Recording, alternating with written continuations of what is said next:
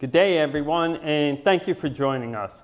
Today's live event, we are going to be talking about our OTDR-1000.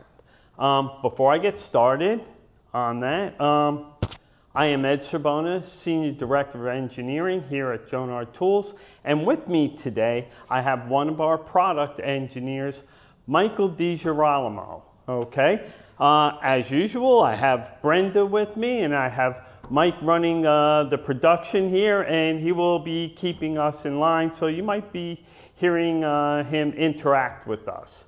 Um, another thing, please take a moment to like our Facebook page. Go to jonard.com forward slash live to enter a contest to win our BP-100 backpack, which we have right here, just so you could see. All right, and with that, uh, what I'm going to do today is turn the demonstration over to Michael. Michael, go for it.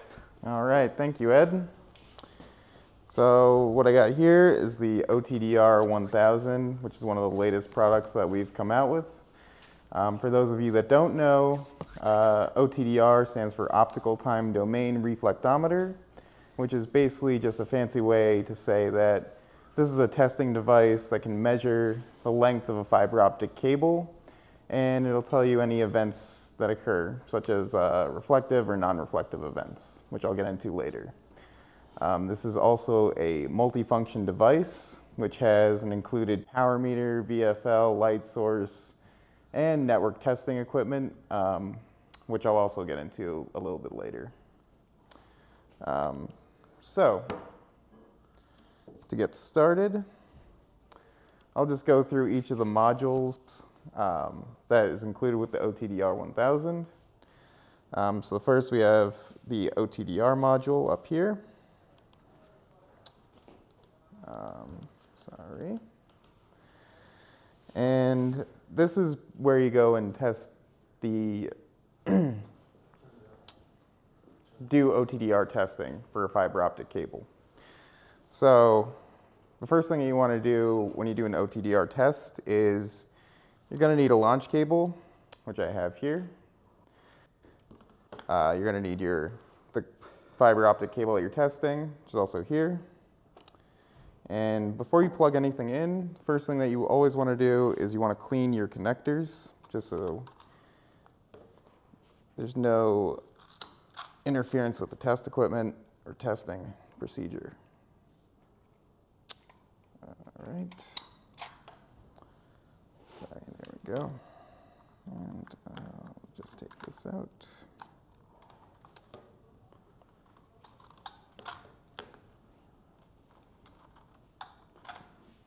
All right. So now that it's all clean, uh, we can hook this up. So the OTDR 1000 is only for single mode fiber optic cables uh, won't be able to test any multi-mode cables. All right, so now we have our connection all set up. So the next thing that you want to do is you want to go into your settings. So you can just hit the F1 button. Um, so as I mentioned earlier, uh, the OTDR 1000, uh, the OTDR module is only for single mode uh, fiber optic cables.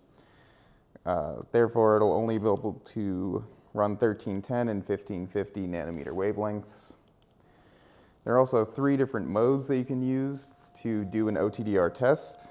The first one is the auto test mode, which uh, means that the OTDR 1000 will calculate the length of the fiber optic cable and adjust the settings uh, to meet the demands of the cable that you're testing. The next is a real test, which is a live OTDR test which, you know, if you have a guy that's splicing out in the field or is inspecting the cable, you can see how the fiber reacts to whatever he's doing, such as fusion splicing, or if he's bending the cable, or if there's any other events that are occurring. The last is an average test mode. So this is used when the auto test mode um, isn't working for you. So basically you want to use the the average test mode, if you have, say, a, a two kilometer long fiber optic cable that you're testing. But the OTDR 1000 only sees up to 1,000 feet because there's a break in the fiber optic cable. So you would go into the average test mode and you can set your range to two kilometers. Um, but for now, we're just going to do the auto test mode. And once you have your settings set up, I mean, there's other settings such as average time, event loss threshold, and return loss threshold, which we'll get into uh, in a video that's coming soon. You can also check the instruction manual for more details. So once you have your settings set up, you can press the F1 button again to start the test. It'll just take a few seconds to, yeah, give some results here. So as you can see, there are two results that have, I mean, two uh, events that have occurred. So one is a reflective event and one is an end event. Um, so what this means is uh, the reflective event is just showing the connection between the launch cable and the fiber cable that we're testing. Um, and the end event just shows that, yeah, this is the end of the fiber optic cable. And if you want to get a closer look, you can just change to the cursor and we can zoom in here on this event. So here you can see in much greater detail what's going on. Here we have the reflective event at the connector, which is at 1.01 kilometers, and the end event, which occurs at 1.02 kilometers, which makes sense because this is a 10 meter long cable, and this is a one kilometer launch cable. If you want to get a more graphical view, you can also uh, view this file in the event mode or the event viewer module, or you can run the test again. Um, for now, I'm just going to load the file that I've saved here. And here you can see the connector at 1.01 kilometers and you can see the end of the fiber optic cable at 1.02 kilometers. Um, so that, that's just a brief overview of the OTDR module. Um, again, we're coming out with a video shortly that'll go into uh, more details on these and the instruction manual has more details um, telling you which each of the settings does and um, the different configurations that you can set up. Um, so the next module that we have is the OPM module, which is uh, the optical power meter module. So this, is the, this has the same specifications as our FPM50A uh, optical power meter, where it reads from minus 50 dBm to plus 26 dBm, and it can do single mode or multi-mode wavelengths of 850 nanometers to 1650 nanometers. It also comes with a VFL module, which just acts like any visual fault locator, as you can see. Um, so this is just the normal mode. It's also one hertz pulse mode and two hertz pulse modes. Um, just pretty nifty to have in there.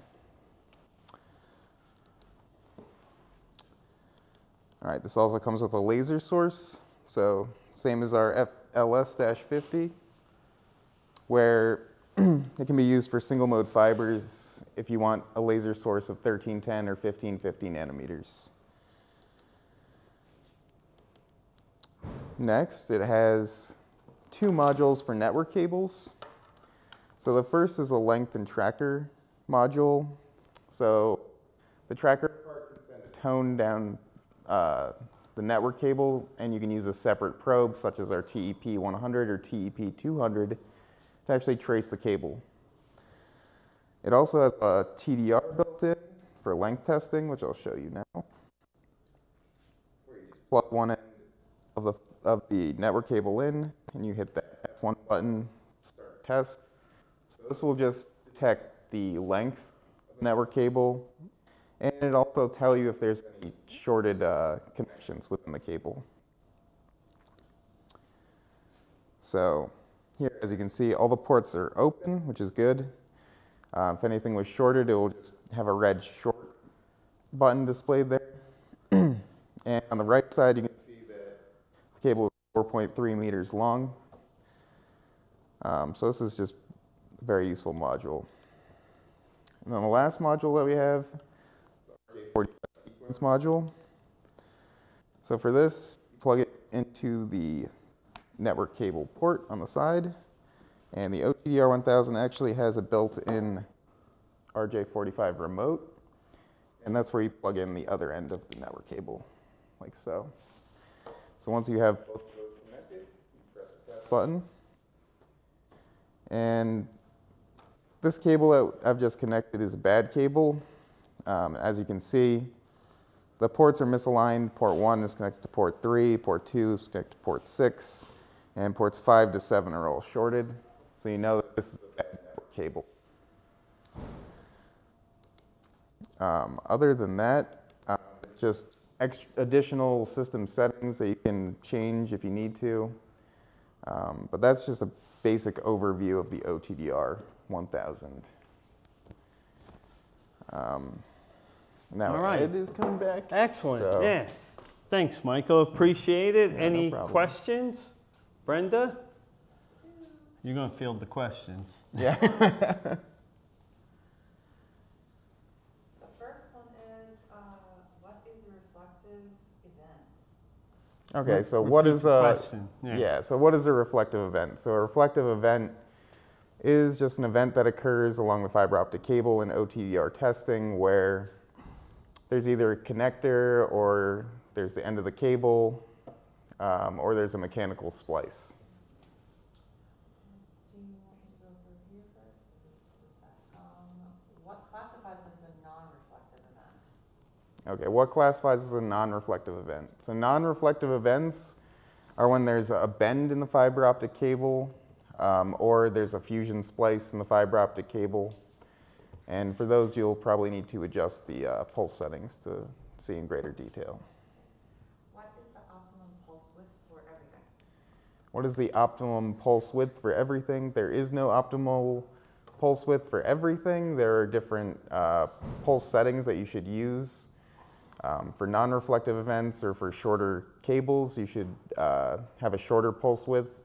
And for longer cables that you're seeing, uh, you should increase the pulse width so that you can get a, a greater view of the cable and the events that occur within it. And what is the average uh, range? What's the average range? So the OTDR 1000 can go, it can detect fiber from 500 meters to 64 kilometers. So anything in between there is okay. Somebody uh, asked, is there internal storage and how much does it hold? Uh, is there, yeah, is there internal storage and how much can it hold? So the internal storage is 25 megabytes, which might seem small, but it can save up to 750 test results. And for additional storage, there is a, an SD or TF card slot where you can put in a micro SD card and you can give yourself some additional storage. Somebody said, uh, is there a charge for the software? Uh, the software is free. It's oh sorry. Is there a charge for the software? No. The software is completely free. Um, it also comes with some PC software so you can view the test results on your PC. Um, yeah. And these will be up on the website, so they'll be able to, to download it um, instead of taking off a disk provided. Last from here, is there a license fee for software? Then we have some from the fee. Is there a license fee for the software? No. There's no licensing fee. No nothing. Just once you get the unit, you get everything. It's all included. And somebody asked, how do, how do you calibrate? How do you calibrate it? Um, well, there are a bunch of different settings. I could show you very briefly. Um, so if you want to go and calibrate this, I mean, you could just change the settings here. If you need it calibrated, uh, you'd have to probably send it to us. Other question here is, can you export saved results from cat cable tests? And can you export the OTDR results? I'm not sure.